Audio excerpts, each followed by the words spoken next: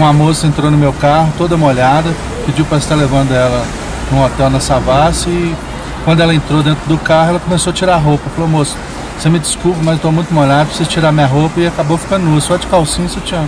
Ah, fato curioso que aconteceu comigo no carnaval aqui em Belo Horizonte foi o seguinte, o cara entrou bêbado demais e pediu para mim levar ele até o, o bairro de funcionário. Só que no meio do caminho ele, ele desistiu de onde que ele queria ir.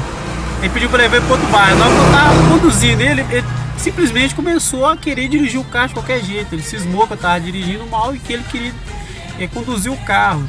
Ele estava bem, ele estava sóbrio, mas a, a, companheira dele, quando eu saí do carro, quando ela levantou, ela estava num, num estado muito ruim alcoólico. Ela estava bêbada. Aí um cara foi, chegou em mim e perguntou se eu levava ele no Gutierrez. Aí eu falei, levava. Aí ele tava com a garrafa de cerveja. A garrafa não, a latinha de cerveja. Aí ele foi, entrou no carro, colocou o cinto e só falou não dá ruim. Parece que tipo assim, já ficou parado aí pra frente tomando a cerveja. E eu deixei ela na porta do hotel, ela entrou pra dentro do hotel de calcinha e sutiã. Aí ele falou o seguinte, se ela vomitar, eu te, te dou tanto.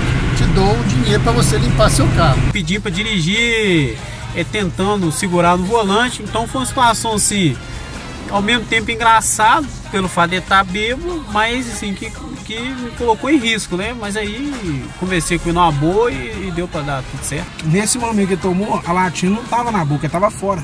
E ficou derramando aqui abaixo nele aqui, ó. E eu tipo olhando para ele assim para ver se ele sacava. Só que ele continuou derramando e começou a cair no banco. Peguei três meninas, Savassi e Praça Liberdade, e o tempo todo ela reportando que queria fazer xixi dentro do meu carro, porque ela já não estava aguentando mais. No meio do caminho ela vomitou. Atrás do banco, aí sujou bem ali, é, entre a porta, a ponta do banco e tudo mais. Aí eu fui pegar a latinha, ela afastei e falei pra ele, tá derramando aí no peito aí, ó. Ele foi, tava tipo assim, meio que ele olhou pra mim, olhou e tipo, não ligou, pra ele não fosse nada até chegar em determinado lugar, no Xodó, na Praça da Liberdade, que ela não aguentou e fez de frente o Xodó lá, fez o xixi dela. No final da corrida, ele só arrancou o cartão e falou passa aí quanto que deu e me falou a senha. Eu acredito que esse ano vai ser um carnaval, assim, um momento especial para nós aqui. Então a gente tem que estar tá se preparando para isso também, né? Atender o público bem e eu acredito que vai ser um momento especial para todo mundo aqui que está na praça, para a gente poder ganhar o nosso dinheiro e, e poder estar tá atendendo bem o nosso público. Olha, eu vou te falar a verdade. Se eu não tivesse ganhando dinheiro, eu tava lá no carnaval também. Eu só não ia precisar de limpar meu carro. Mas eu vou participar da festa do meu jeito, vou ganhar um dinheiro e vou transportar a gente, e vou fazer muita gente ficar beleza no carnaval.